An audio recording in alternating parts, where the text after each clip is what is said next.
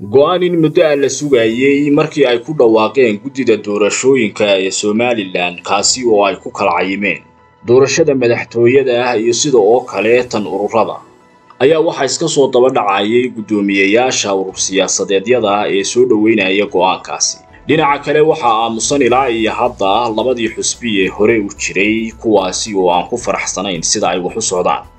haddaba waxaa inoogu marti ah warbixinteennan mid ka mid ah guddoomiyeyaasha ugu saamaynta badan urur siyaasadeedyada ka jira somalilan cismaan maxamed badmaax oo hogaaminaya urur siyaasadeedka miday sida oo kalena wacdaro lama arag ah ka dhigay somalilan gudaheeda muser badmaax ayaa waxa uu ku dhashay magaalada hargeysa ee caasimadda u ah somalilan sida oo kale waxa uu bartay cilmiga dhaqaalaha iyo qaynuunka caalamiga isaga oo ka soo baxay jaamacad ku taala waddanka switzerland oo maraykanku leeyahay. Si toos ah ayuu khadka ugaga jiraa guddoomiyuhu magaalada abudabey ee xarunta ah waddanka imaaraadka carabta. Een ugu horrayn guddoomiye ku soo dhowow warbaahinta xogogaal sidee ayaad u aragtaa go'aanka guddida doorashooyinka somalilan uu soo saaray?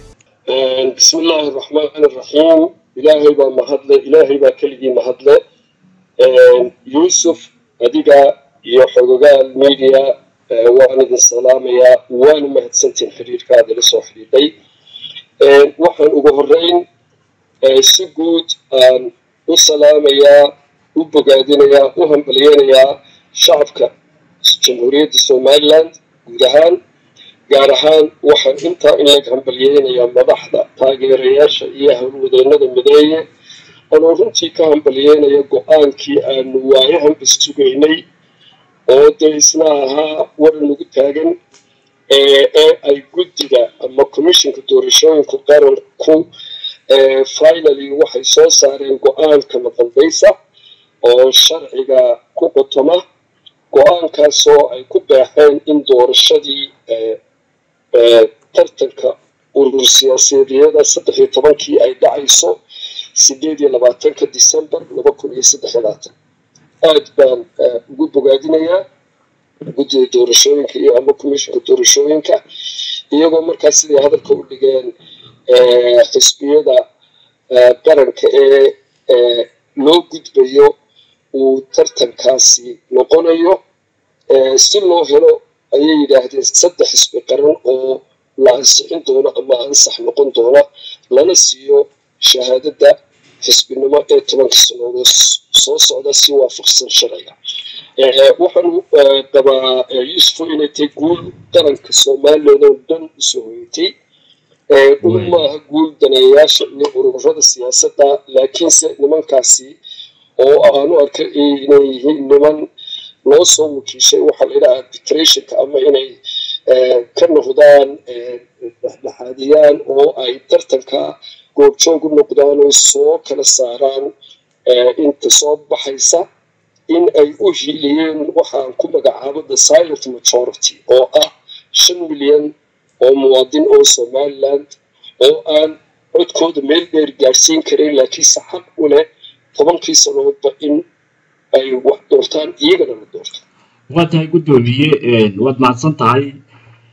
urur siyaasadeedkaaga miday haddii uu gudbo saddexda xisbi qaran ee sharciga somalilan ogol yahay maxaad ka bedeli doontaan nidaamka ay iminka wax u socdaan iyo sida ay u shaqayn jireen xusbiyadii hore u jiray? Horta ilaahay halkaa hadda gaadhsiiyo aad baad u mahadsan tahay. Intaanan halkaa waxaan yarun background yar bixinayaa in aanu modelkii ugu horreeyey ee kala reebista ururadu uu mid saansaantiisa lahaa uun kala reebista xisbiyada ururada u gudbiya xisbiyada. Sababtoo ah saddex round baanu gallay. Mid wuxuu ahaa kii afar iyo labaatanka urur ay soo qaateen applicationada.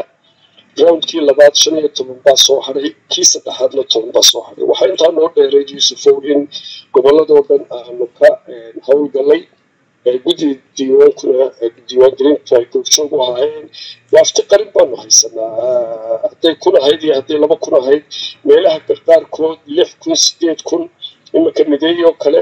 dee lixda gobolba cadad iyo cudud aada u ballaaran ayuu muujiyey oo markhaatina doonta ah oo dee miidiyuhu duubayeen waxaa documents badan baanu gudbinay.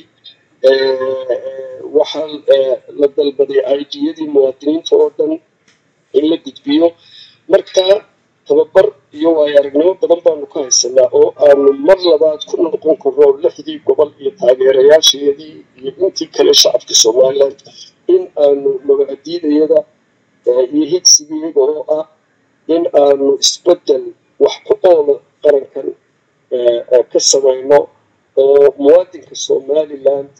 karaamadiisa iyo sharaftiisa iyo baahihiisoo dhan ku qabtiraya oo si cilmiyeysan oo aqoon yahanimo ah aanu u soo bandhigno. Marka waxyaabo badan baanu ka bedeli doonaa. Waxaanu ka bedeli doonaa in aanu